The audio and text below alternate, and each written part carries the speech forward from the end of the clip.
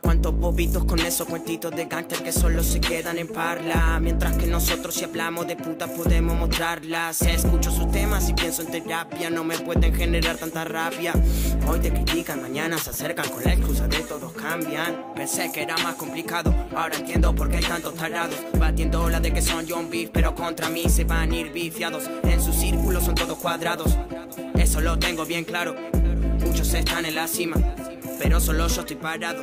Querrados están si piensan que me mate buscando tener contenido. La mitad de semi improvisado sobre un ritmo que me suena divertido. A los mejores los tengo conmigo. Soy la última pluma del nido. Ese disparo sin ruido que no da lugar a calla testigos. Dejen de hacer este tipo de cosas que se ve que les sale muy exigido. De BNI, una vez más un hack trick y se lleva el balón del partido. No se equivoquen, parece que están confundidos. Porque mi estilo no es hacer trap, es hacer rap y tener la comodidad de hacer un trap tranquilo. No es gustarle al real, no, ni gustarle al fake. Solo hago lo que quiero hacer. En este perfil me siento bien, y no pienso caer. ¿Para que entrar en crisis si lo logré?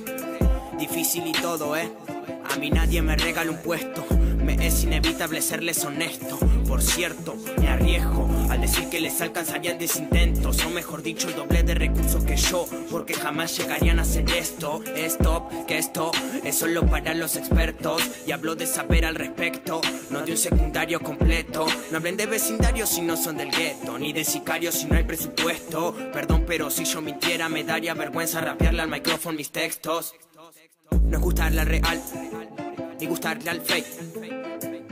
Solo hago lo que quiero hacer.